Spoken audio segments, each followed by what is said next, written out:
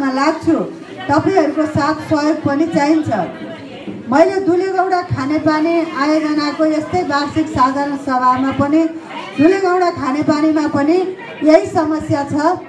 धुलेगौडा खानेपानी यो कबासेटार खानेपानी दुवै खानेपानी आयोजनालाई राम्रो ढङ्गले सम्पन्न गर्नको लागि अहिले देखिएका सबै समस्या र आवश्यक कुराहरू पुरा गर्न तपाईँहरूको संस्थासँगै म पनि लाग्नेछु यो प्रतिबद्धता तपाईँहरूको अगाडि जनाउँदै।